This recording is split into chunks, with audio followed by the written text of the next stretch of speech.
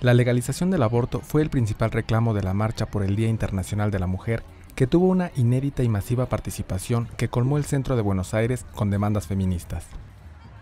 Cientos de miles de mujeres marcharon solas, en pareja, con sus familias, organizaciones, sindicatos o escuelas en una movilización que tuvo como colores de identidad el violeta feminista y el verde de la campaña nacional por el derecho al aborto libre y gratuito. El activismo comenzó a las 8 de la mañana con una protesta de las trabajadoras despedidas del Hospital Posadas, a lo que siguió un ruidazo en las calles, oficinas, redacciones y diversos lugares de trabajo. Un grupo de periodistas de los diarios económicos especializados Ámbito Financiero, BAE y El Cronista se reunieron frente al Congreso como parte del movimiento periodista por la igualdad para reclamar más mujeres directivas de medios y columnistas.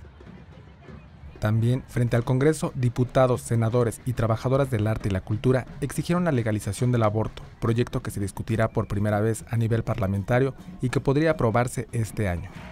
La marcha que partió por la tarde desde Plaza de Mayo hasta el Congreso estuvo encabezada por trabajadoras despedidas, madres de Plaza de Mayo y representantes de la diversidad sexual. Con información e imágenes de Cecilia González, corresponsal en Argentina, Notimex.